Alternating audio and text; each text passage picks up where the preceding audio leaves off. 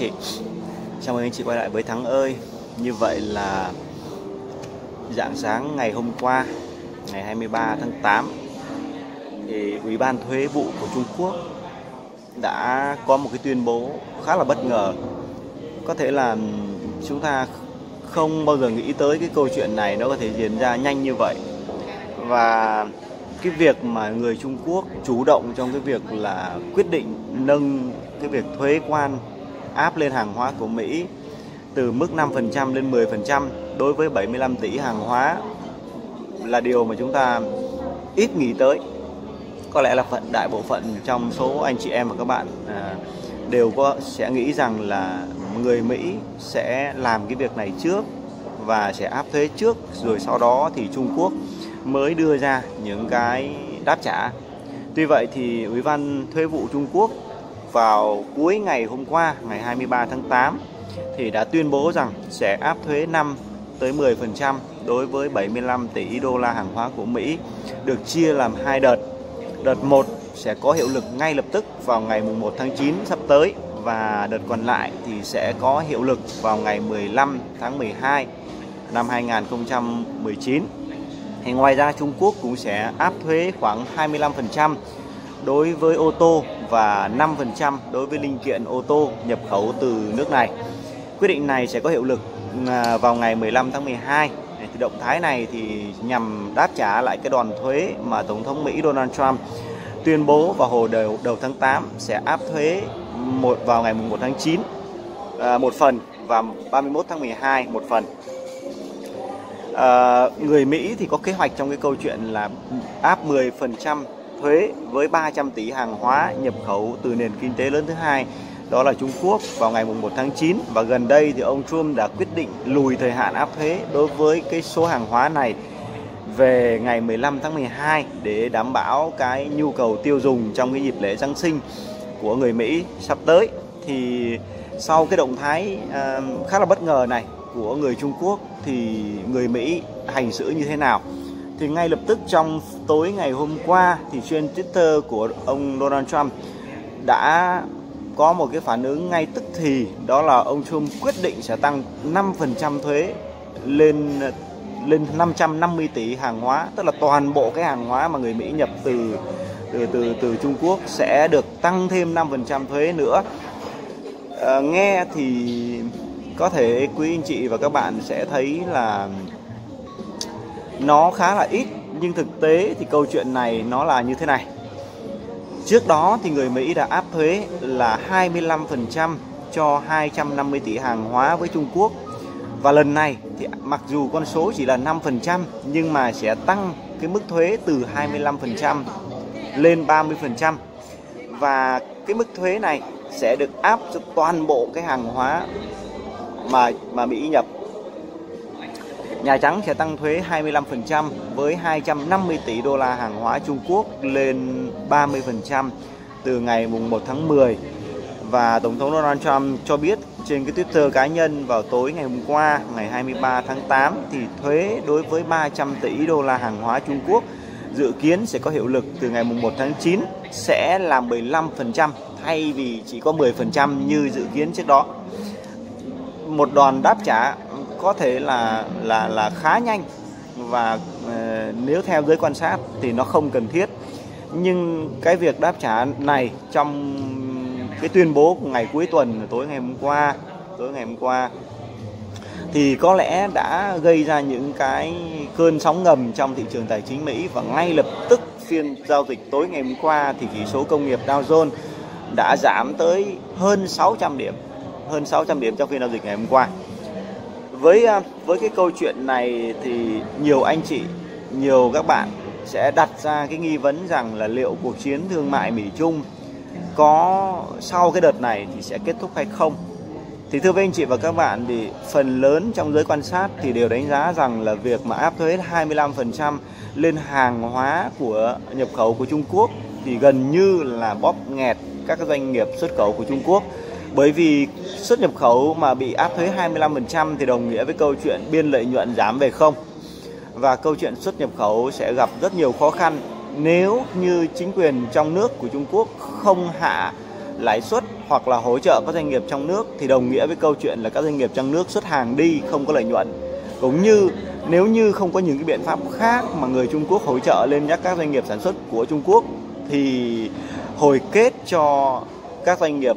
sản xuất tại Trung Quốc là điều chắc chắn. Chỉ nghĩ tới đây thôi thì chúng ta đã thấy rằng là thuế 25% làm ăn mà đã ờ, chưa biết là lời lỗ như thế nào nhưng mà ăn ngay con thuế 25% thì đã là khốc liệt rồi.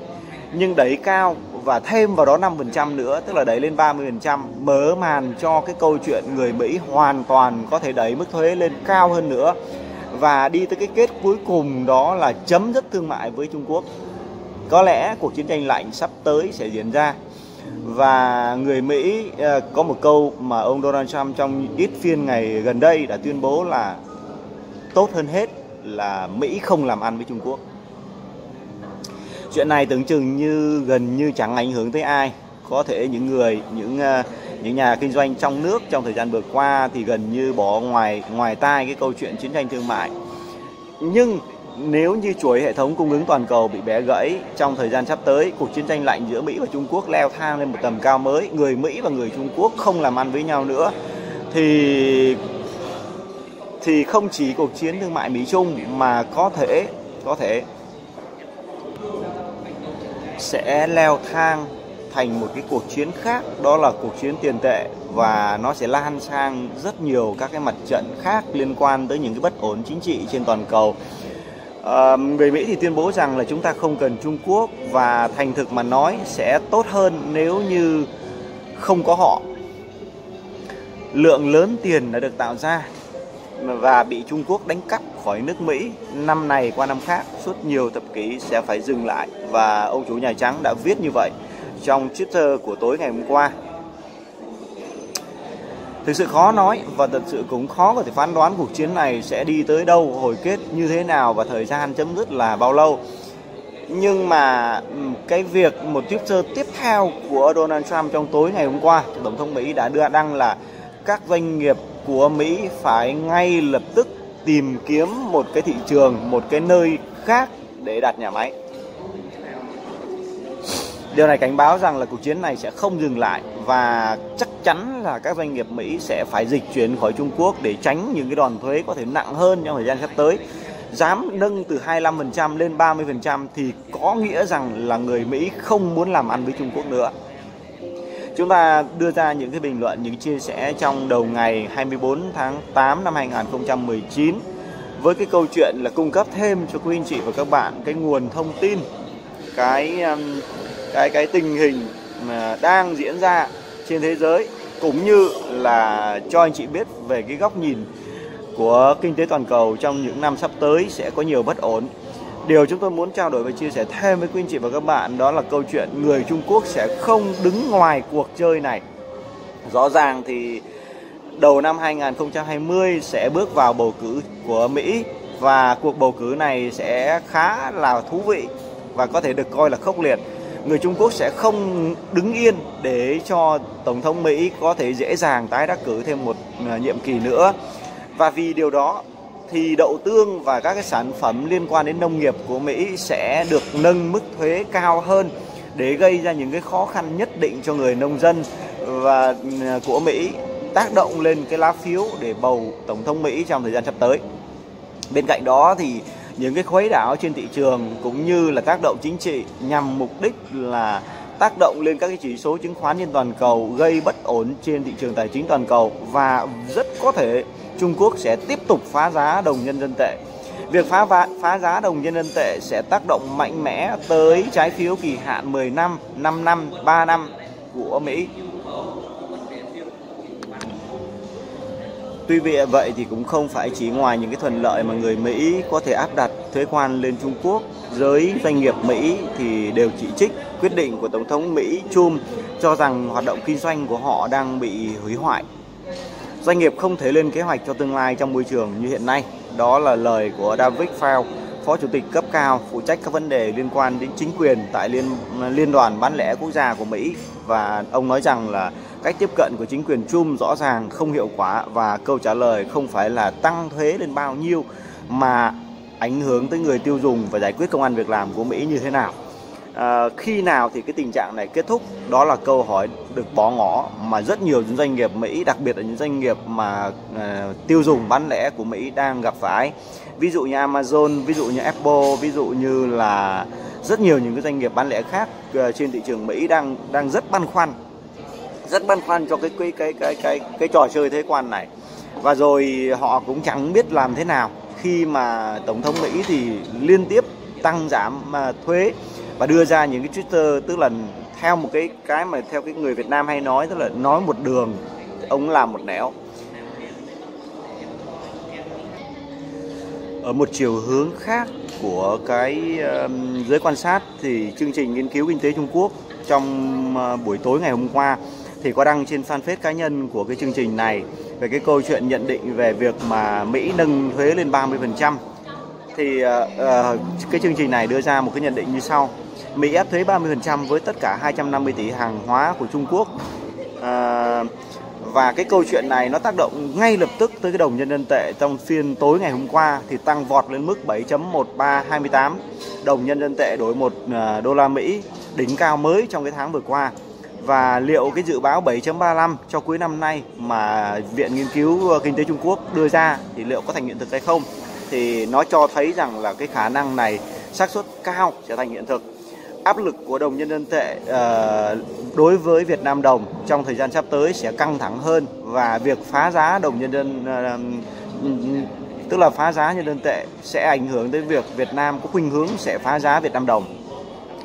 À, theo cái uh, viện nghiên cứu này thì việc Trung Quốc lẽ ra không nên áp thuế 75 tỷ đô la hàng hóa Mỹ từ ngày mùng 1 tháng 10 và 250 tỷ hàng hóa Trung Quốc đang bị áp thuế 25% sẽ bị đánh thuế ở mức 30%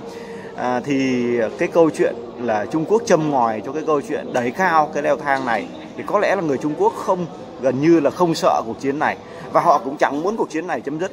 do đó thì họ không nhún nhường và đưa ra những cái cái đòn trả đũa. Mặc dù là cái lượng hàng hóa của Trung Quốc áp lên người Mỹ thì hoàn toàn thấp hơn rất nhiều so với người Mỹ áp lên Trung Quốc. Bởi vì kim ngạch à, cán cân thương mại Mỹ Trung thì thặng dư về phía Trung Quốc. Hành động này thì được đưa ra làm cho cái chiều hướng của nền kinh tế toàn cầu càng ngày càng khó khó có thể ừ, dự đoán. Và các cái đòn phản pháo của hai bên à, liệu có đưa thành một cái cuộc chiến thương mại à, chuyển hóa thành cuộc chiến tiền tệ trong thời gian sắp tới hay không thì chúng ta sẽ cập nhật trong những video tiếp theo. À, anh chị và các bạn à, có thể à, đón xem cái chương trình này bằng việc là đăng ký kênh để nhận được những à, cái video mới à, mỗi ngày hiểu ích hơn. Thân chào và hẹn gặp lại.